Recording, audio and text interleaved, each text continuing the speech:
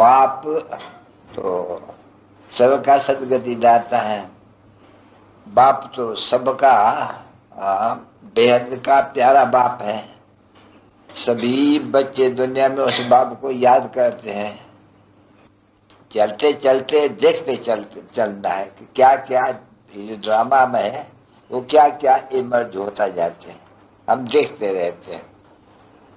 तो बाबर ने समझाता है, कोई भी बात में घबराने की कोई दरकार नहीं है, बिल्कुल। तो इसमें कोई भी तकलीफ़ वगैरह तो कुछ देखने में ही नहीं आती है, मूझने की दरकार नहीं है। बच्चा अच्छा मम्मा सही छोड़ा, इसमें दुख तो कोई होता ही नहीं है, किस्म का। क्यों? मम्मा ज्ञान देने वाला बाप, हमारा हाई, मम्मा का भी, बाबा का, बच्चों का काम मम्मा से। अभी बाप कहते हैं, मम्मा से मैं गया। मम्मा तो जैसे मैं हूँ, समझे? मैं आता हूँ, नहीं प्रवेश करता हूँ, नहीं। मैं तो कर सकता हूँ, नहीं। मम्मा को जन्म नहीं देता हूँ तो आगे चल के बताएँगे। तो बुद्धि अपनी कहती है कि क्यों? वो तो अपना ऐसा किताब भले करीबी थी कर्म, वो भोगे गई। कई पूछते हैं बिना क्या वो फिर गर्भ में जाएँगी? ये सवाल पूछ रहे की दरकारी क्यों पड़ी रहती है?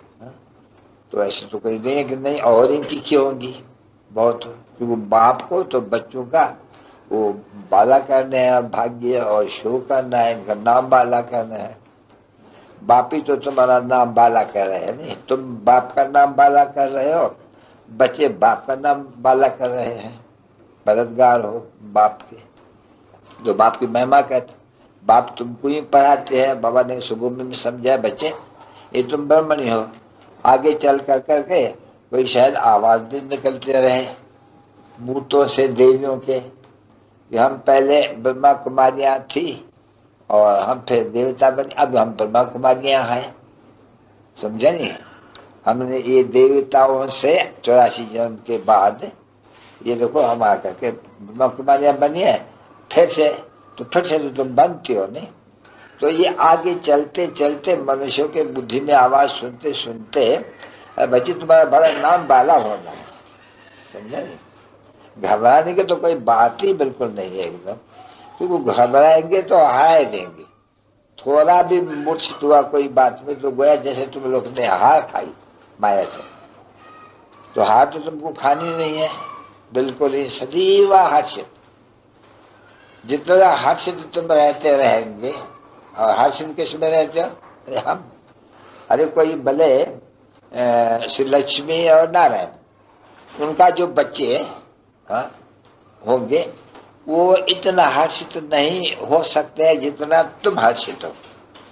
वो फिर भी तो कोई राजा का बच्चे हैं समझे नहीं?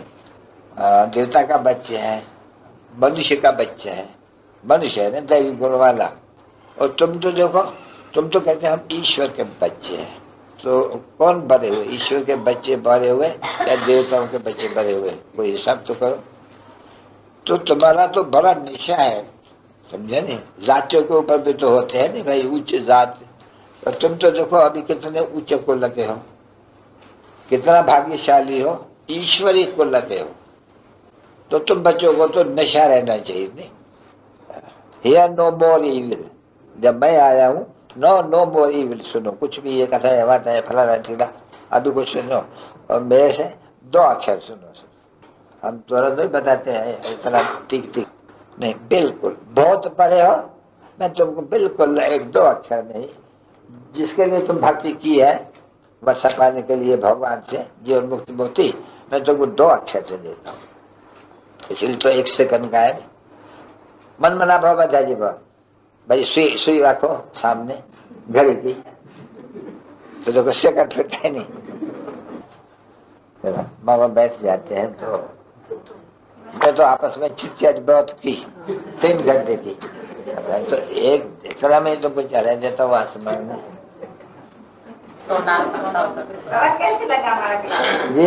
कैसे लगा हमारा क्लास अच्छा है फ़र्स्ट क्लास मैं सॉरी ये तो बहुत अच्छा पुरुषार्थ करते हो नहीं उसको बाबा थोड़ी कुछ कहेंगे ये बहुत अच्छा ये तो मैं युक्ति बताता हूँ कि क्या करो अपने घर में रखो अरे इनसे ही तुम्हारा बच्ची ये तुम घर में रखो तुम्हारी एक घर में जैसे कि वो यूनिवर्सिटी भी है और ये हॉस्पिटल भी बड़ी है तो बहुतों को इन पर समझाने से हेल्दी अवेलेबिलिटी बना सकते हैं क्या खर्चा है इसमें पहले तो टेम्पटेशन तो उनको देना चाहिए, नहीं?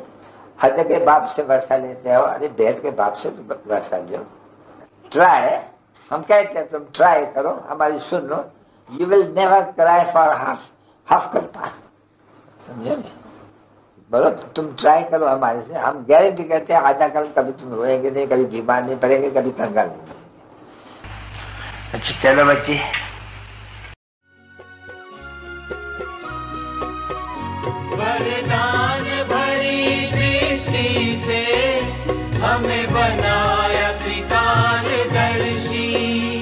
जन्मों के पुण्य फले हैं। प्रभु दया है इतनी बरसी पलकों से उठा कर मोती आँखों का बना लिया।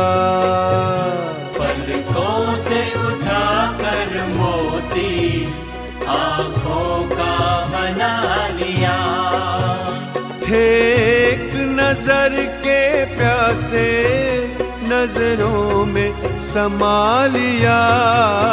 आपका शुक्रिया आपका शुक्रिया। आपका शुक्रिया आपका शुक्रिया। मीठे मीठे सिक्के दे रूहानी बच्चों पर माता पिता बाप दादा का याद प्यार नाइट